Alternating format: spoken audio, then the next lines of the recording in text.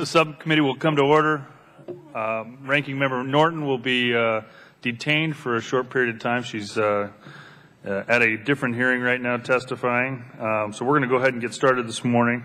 Uh, This hearing is focused on the General Services Administration's capital investment and leasing program and examining ways to cut spending and consolidate federal office space.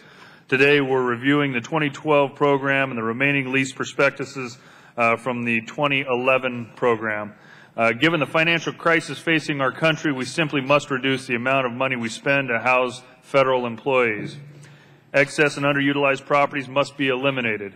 The price we pay for space has, has to be controlled, and agencies will have to house more people in less space.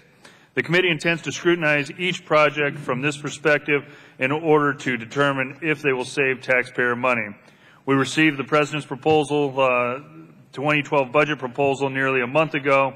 Uh, that budget proposes to spend 840 million on construction and acquisition projects and 869 million on repairs and alteration projects.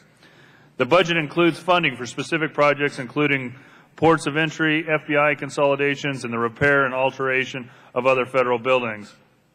Our committee just received GSA's fiscal year 2012 capital improvement program uh, yesterday, nearly a month after the release of the President's budget. Year after year, this subcommittee has requested GSA provide its capital investment program early in the year so that we can act in a timely fashion. I do appreciate that we did receive the program prior to this hearing and hope we can uh, work with GSA on ensuring timely submission in the future. I also want to thank Mr. Peck for his response to the letter signed by all the members of this committee last week requesting access and information from the Federal Real Property Profile Database regarding GSA properties.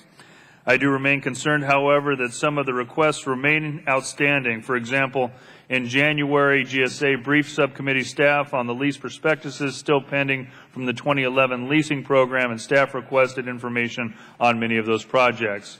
Responses to those requests were uh, only received yesterday. In addition, at the hearing we had last month, members of the subcommittee asked for information to be submitted.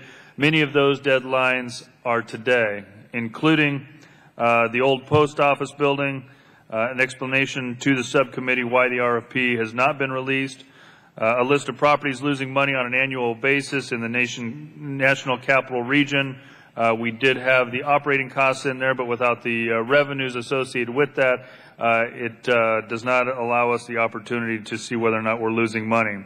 Recommendations on any changes needed to existing law to streamline the property disposal process.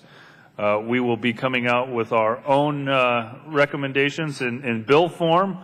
Uh, so we would certainly like to work with GSA on their recommendations in that process. I hope we're going to receive the uh, responses to those questions very soon. Uh, this committee does not plan to approve leases until we receive this information. I want to make sure GSA is very well aware of that. The administration's goal of addressing the problem of unneeded and underutilized assets is one that is shared by this subcommittee. It is critical that we have access to relevant information in a timely fashion so that we can effectively work with GSA and the administration on proposals to stop waste when it comes to our public buildings and facilities. I look forward to uh, working with Mr. Peck on these issues. Um, and I would just like to add for the record, we had a great meeting yesterday over at your office. I appreciate the uh, opportunity not only to get together, but some frank conversation on how we can greatly improve the process and work together. Uh, Ms. Norton uh, will be here shortly, and uh, I will still allow her an opening testimony, but uh, uh, for now, I would, you have no open? I would like to call on Mr. Peck for opening statement. Well, well.